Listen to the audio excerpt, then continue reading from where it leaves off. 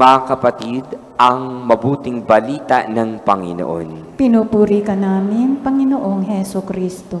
Magsiupo po tayong lahat. Meron bang kasalanan na hindi kayang patawarin? O meron bang kasalanan na naikumpisan mo na, naihingi mo na ng tawad, pero pakiramdam mo, parang hindi pa rin napapatawad ng Diyos? Sa tuwing tayo lumalapit sa sakramento ng kumpisal, anumang bigkasin ng ating labi at hiningi natin ang kapatawaran, sa sandali na narinig ang ating mga salita, na ibukan natin ating bibig, doon pa lamang napatawad na ang iyong kasalanan. Tunay nga na kung minsan ang hirap bigkasin yung mga salita na ating pagkakamali at pagkukulang. Para bagang ang hirap sabihin, ang hirap iharap, ang hirap tanggapin yung katotohanan. Pero sa kabila na ito'y ating napakawalan sa ating puso at kalooban, napalaya natin ang ating sa sarili sa kasalanan at nagkaroon tayo ng malinis na puso at kalooban. At sana nga sa tuwing tayo mangungumpisal, iingatan at aalagaan natin ating sarili upang hindi na tayong muling magkasala, upang makalayo na tayo sa tukso ng masama, upang maging mabuti na muli ang ating pamumuhay, ang ating relasyon sa Diyos at ang ating relasyon sa ating kapwa. Tayo ngayon ay nasa ikalimang linggo sa panahon ng Kwaresma. Ang panahon ng Kwaresma ay panahon ng pagsisisi sa kasalanan, panahon ng pagpapatawad sa ating mga kaaway, panahon ng pagbabalik loob sa Diyos at pagbabagong buhay. Kaya nga ang tanong, paano kapag hindi ka nagsisi? Paano kapag hindi ka nagpatawad? Paano kapag hindi ka nagbalik loob sa Diyos o hindi ka nagbagong buhay? Ano ang naging dating sa iyo ng panahong ito ng Kwaresma? Tunay nga ba na mahalaga pa ba sa iyo na magbalik loob sa Diyos? O sanay ka na at masaya ka na na namumuhay sa kasalanan?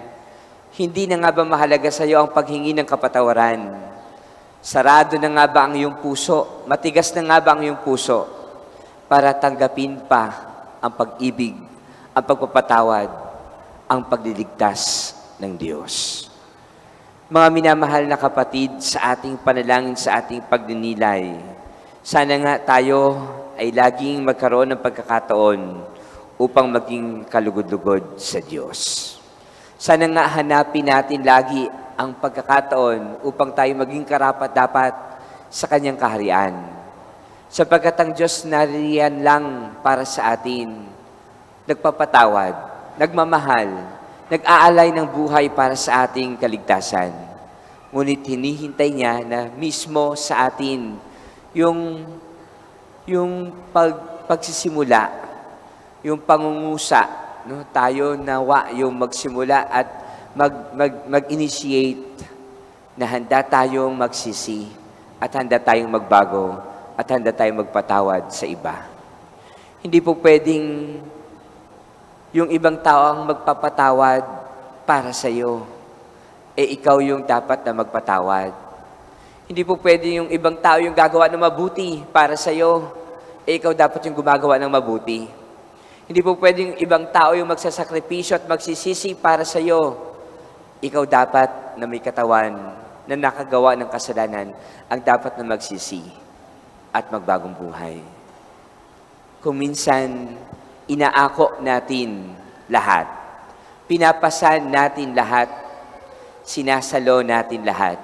Maging kasalanan ng ibang tao, parang kasalanan na rin natin. Ikaw mismo, hindi ang ibang tao.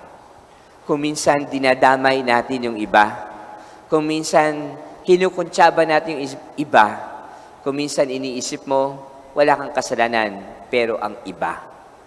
Para bagang ibinabato mo ito sa kanila at naguhugas ka at naglilinis ka sa iyong pagkakasala.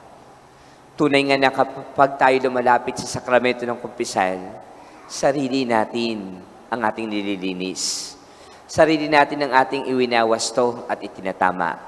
Sarili natin ang ating hinuhugasan sa kasalanan at binabago sa harapan ng Diyos. Hindi pa nawa huli ang lahat. Bigyan tayo lagi ng pagkakataon ng Panginoon para bigyan niya tayo ng liwanag ng isipan at kapayapaan upang lahat ng ating pagkakamali at pagkukulang ay ating mapalitan ng kabutihan at ng kabanalan.